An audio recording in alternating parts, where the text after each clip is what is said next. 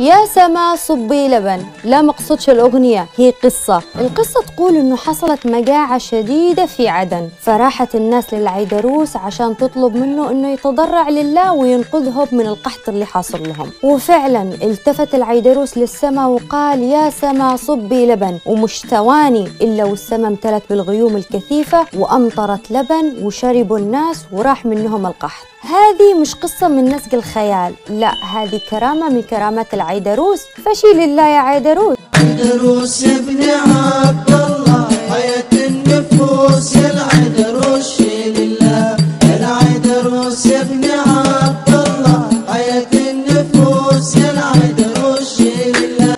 أبو بكر بن عبد الله العيدروس باعلوي من مدينة تريم حضرموت ولد في 851 للهجرة وعاش أيام الملك عامر بن عبد الوهاب رابع ملوك بني طاهر. والعيدروس هو مش اسم ولا كنية إنما هو لقب وأصل الكلمة هي العندروس وتعني الأسد. ولكن بعدين تحورت الكلمة فصارت العيدروس. وله لقب ثاني كمان باسم أبو بكر العدني هذا لأنه استوطن مدينة عدن وعاش فيها 28 سنة وبنى مسجده المشهور مسجد العيدروس. وهو عالم دين وفقيه صوفي وشاعر عامي وله العديد من المؤلفات اللي تدل على سعة علمه وثقافته. وحظى بالكثير من الاحترام بين طبقات المجتمع وخصوصا في مدينة عدن وهذا بسبب إسهاماته داخل المدينة. وكان دائما يحث أصحاب القرار وأصحاب المال من أجل حفر الآبار وبناء السدود وإصلاح الطرقات ويعود له الفضل في إعادة ترميم مساجد تريم. وكان كمان يخصص صدقات سنوية لطلبة العلم ولكساء الفقراء والمحتاجين. توفي العيدروس في ليلة الرابع عشر من شهر شوال عام 914 للهجرة ودفن في مدينة عدن